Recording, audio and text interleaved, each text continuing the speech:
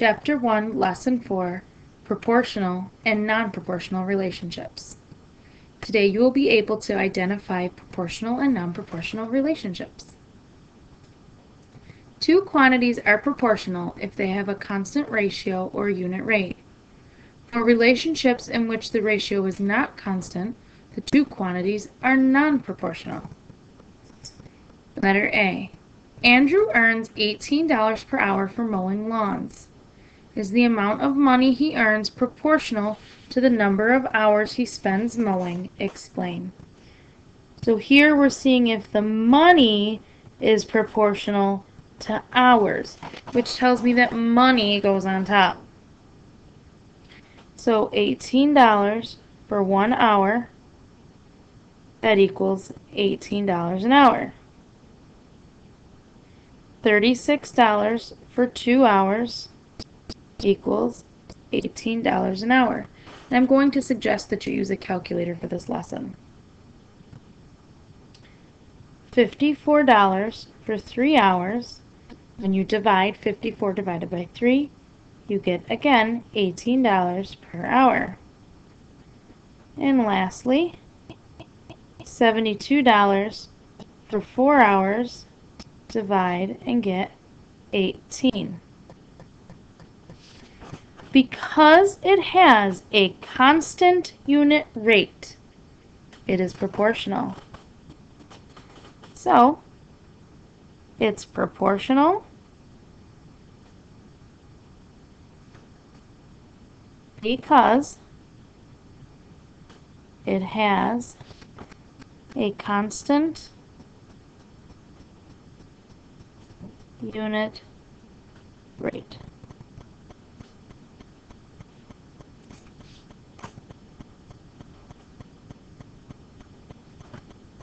Letter B. At Lakeview Middle School, there are two homeroom teachers assigned to every 48 students. Is the number of students at this school proportional to the number of teachers? Explain. So let's do one, two, three, and four teachers. We know that if there are two teachers, there are 48 students, which means if there's one teacher, there's 24 students. Okay.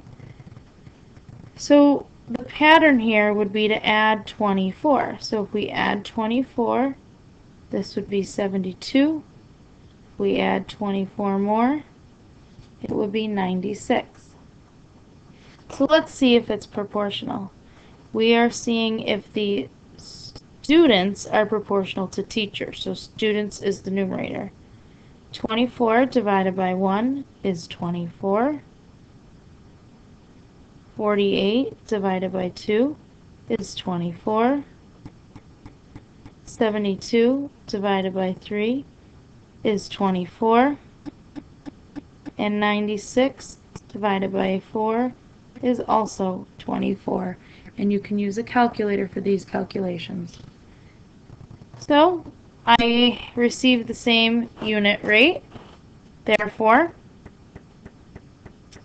it's proportional because it has a constant unit rate.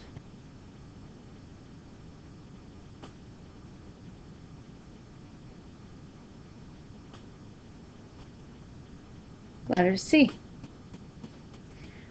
Tickets charges $7 per baseball game ticket plus a $3 processing fee per order. Is the cost of an order proportional to the number of tickets ordered? So the cost of an order to the number of tickets, so the cost. So cost goes on top. $10 for one ticket is $10. $17 for two tickets. When you divide that out, you would get 8.5, which is not equal. I don't have to go any further because I already know that this is non-proportional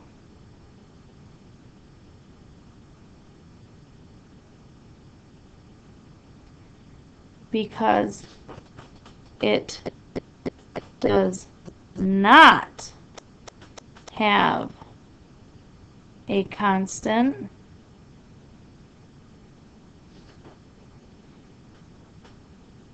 uh, unit rate.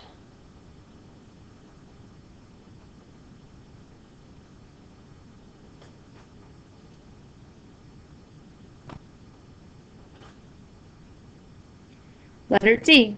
You can use the recipe shown to make a fruit punch. Is the amount of sugar used proportional to the amount of mix used? So sugar to mix, 1 half to 1. We have here is a complex number.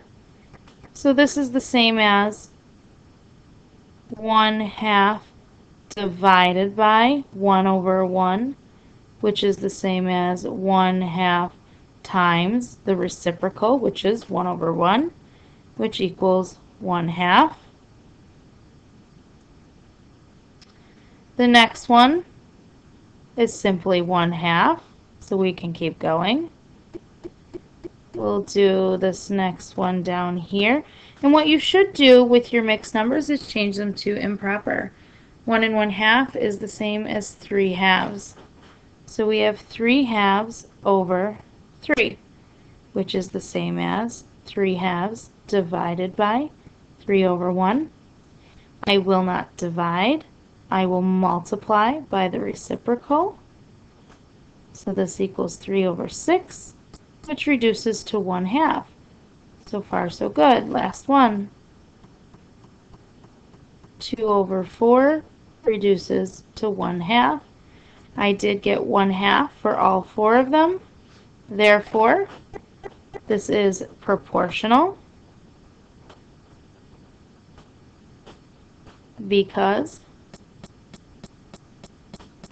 it has a constant unit rate.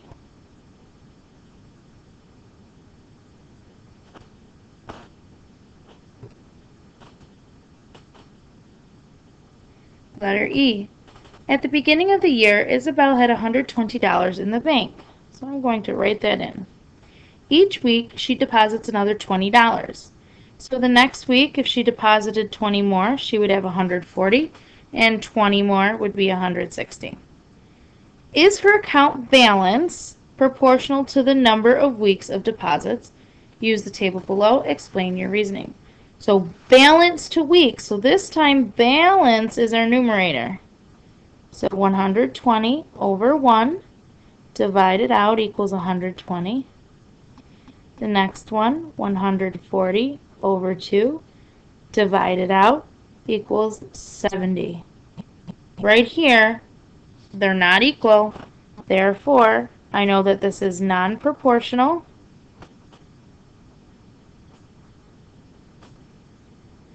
Because it does not have a constant unit rate.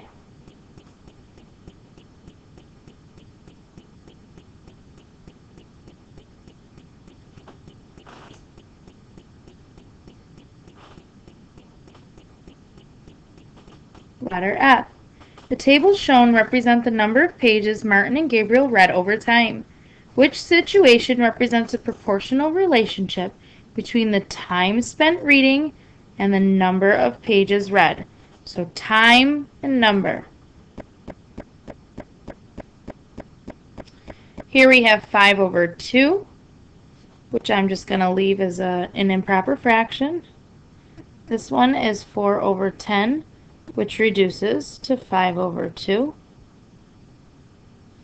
And then we have, oops, I did this one wrong. This one is actually 10 over 4 which reduces to 5 over 2. Then I have 15 over 6, which reduces also to 5 over 2. Now let's take a look at Gabriel's. 5 over 3 is the first ratio. 10 over 4, which reduces to 5 over 2, is the second ratio. And I can stop because these numbers are not equal. However, these unit rates are equal. So the question is, which situation represents the proportional relationship? I would say Martin because he reads at a constant rate.